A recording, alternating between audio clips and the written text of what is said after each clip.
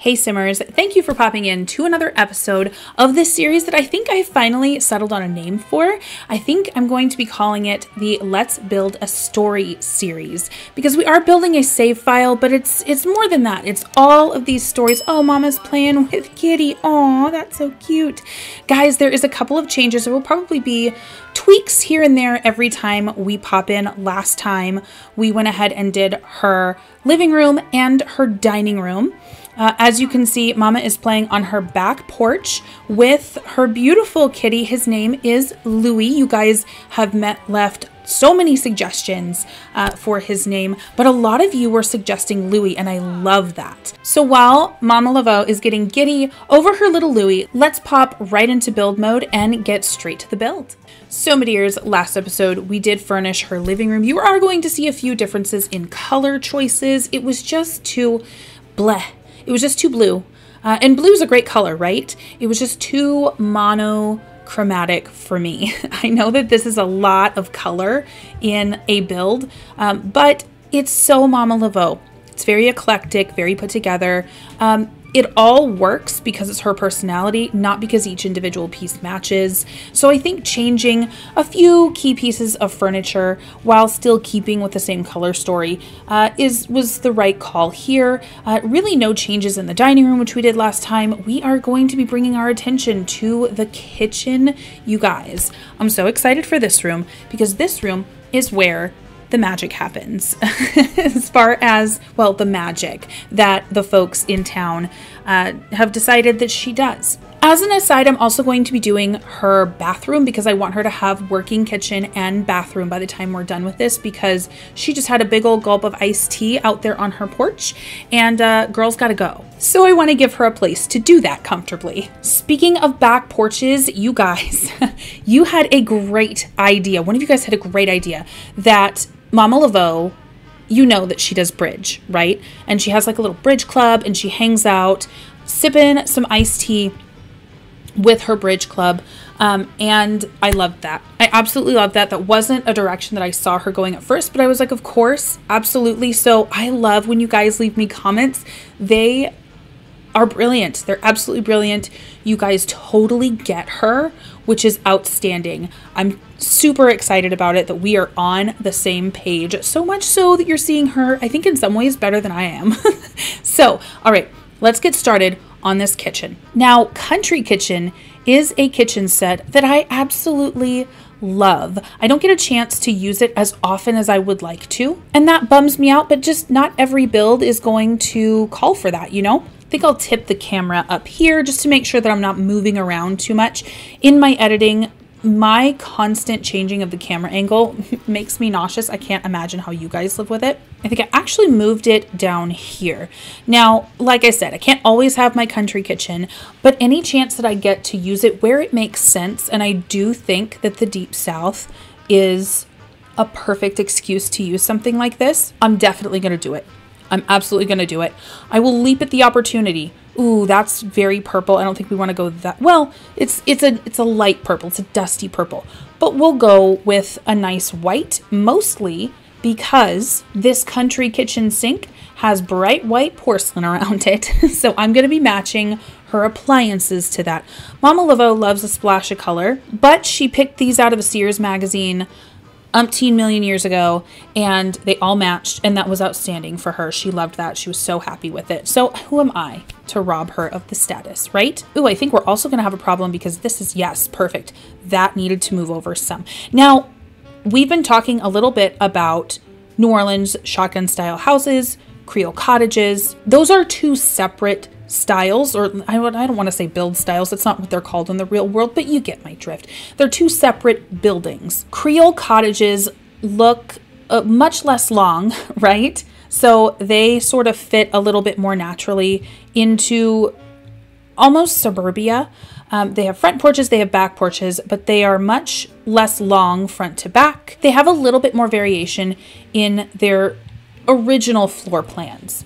Now, as I said last episode, I thought that um, the shotgun style houses were the way that they were. Usually they had like two front doors, like this window would have been a door. And I think probably at some point Mama Laveau's house was that way, but she just converted it to a window. I thought that it was that way incorrectly because I thought that these were houses um, made into slave houses, essentially, and they tried to squish two families into, you know, one side of the houses uh, because it's also another common style to have it sort of divided in half along this very long building, which makes it even longer. But that's not the case. It's just a preferred style. It just had to do with airflow. Um, from what I'm reading, that's really the big the big thing. No secrets there. Now we get to clutter up the counters just a wee bit, just a smidge. I don't overly clutter, but I do like it where I can get it reasonably. So I certainly want to do like a draining rack. She's got a couple of places where she hangs her dried dishes or like puts up her dried dishes, but I also want her to have a draining rack because I think that that's just super realistic, just in any home, right? But um, Creole cottages, I'm sorry, shotgun houses, which is what Mama Laveau lives in, typically had the four rooms stacked from front to back that we see here, separated by one or two breezeways, and really no halls to speak of. It was a really cost efficient way to get all those rooms in. Usually, your front room was like your family room, your sitting room. Then there were actually two bedroom rooms in the middle. And at the very end, was your kitchen. Pardon me while I just pull out all of my country kitchen tidbits. Oh, should we go pink? Oh, there's little apples in that. Oh, that's cute. Oh, but we could do purple and yellow. We know that Mama Laveau loves a yellow moment. And I think purple is a perfect color to offset that or to accent it. So we'll see if we can go with it. We'll see if this persists. I don't think it does through everything, but that's okay. We can just fill in with yellow where there is no purple. So the back room would typically be the kitchen, and that was a strategy for containing the heat on the outside of the house, which could cool the easiest. Let's pop her little bread box right here, looking so cute, so sweet. I think that's probably all. I don't think I can get anything up in these cupboards. No, I can't. Okay, well that's that's not awful. Um, but sometimes you'd have a bedroom in between like if you only needed one of those rooms to be a bedroom, the two in the middle, sometimes one would be a, a, dining room, a formal dining room. Sometimes you'd have a bedroom in between the dining room and the kitchen. It was a what we would think of as a weird layout, but it worked for them. Well, now uh, kitchen has been moved probably. Um, or maybe this used to only be a three room shotgun house, and then this back part was added onto or expanded.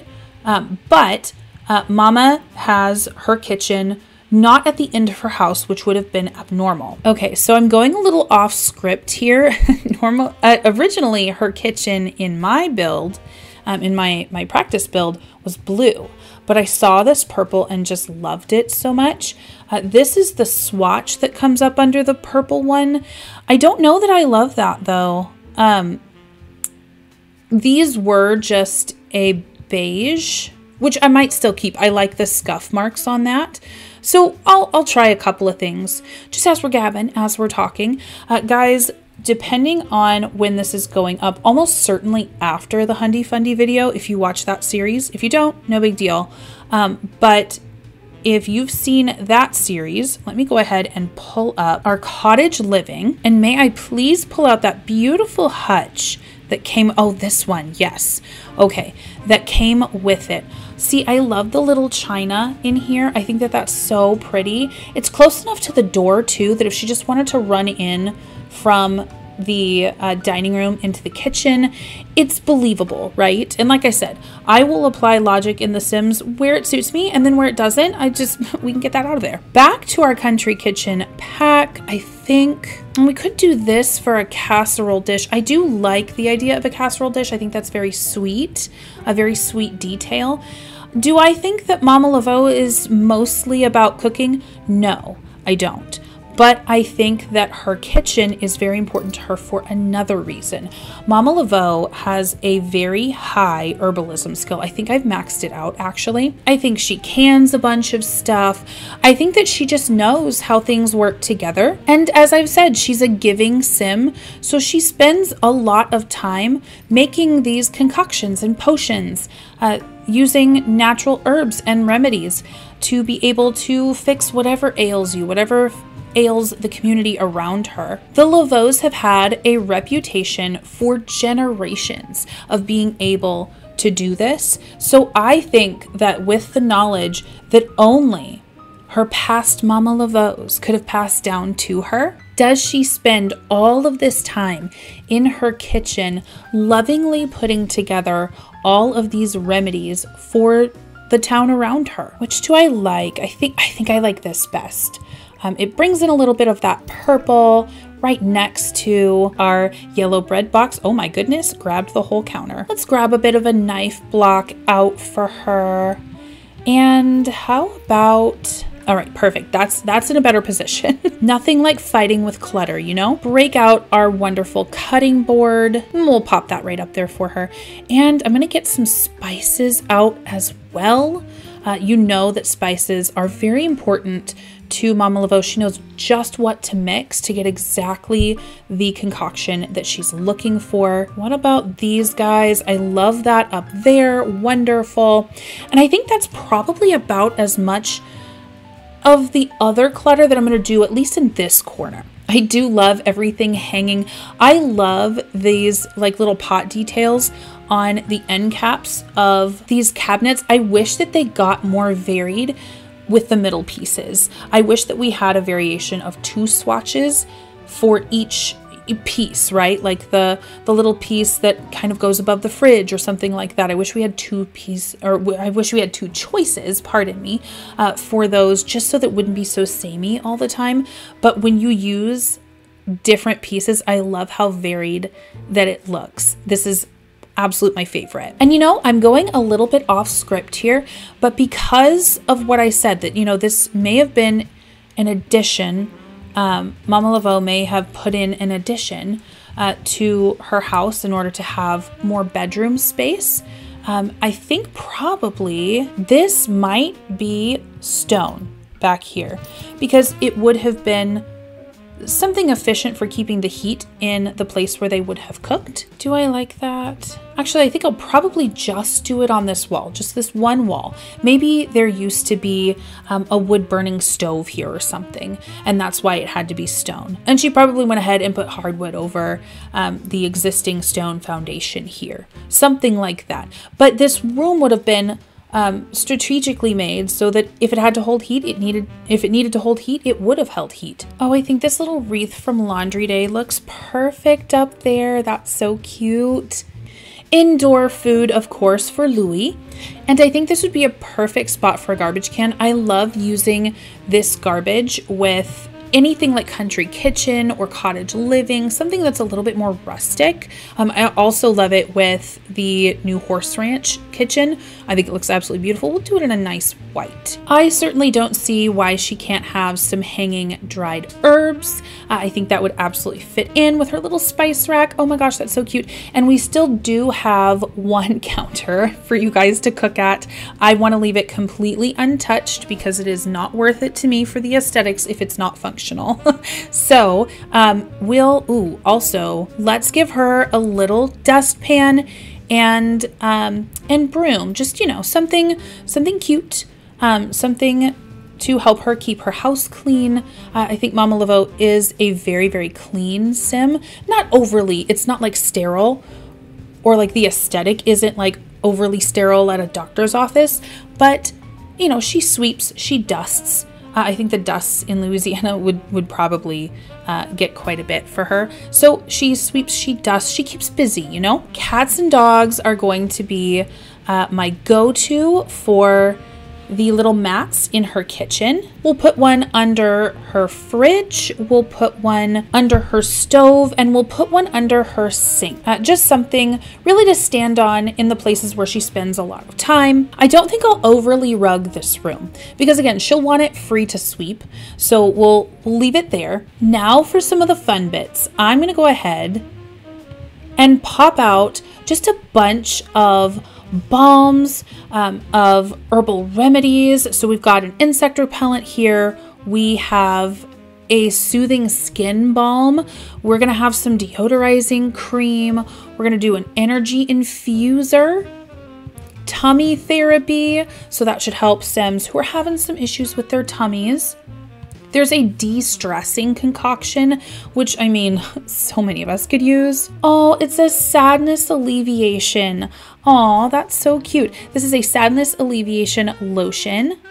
Clear mind distillation. You know what? I think I'm going to need to find a spot to get in some more shelves. Actually, I've changed my mind. I want them up here. There is a rage relieving salve. I wonder what that would do for werewolf sims. I wonder if that has any effect on them.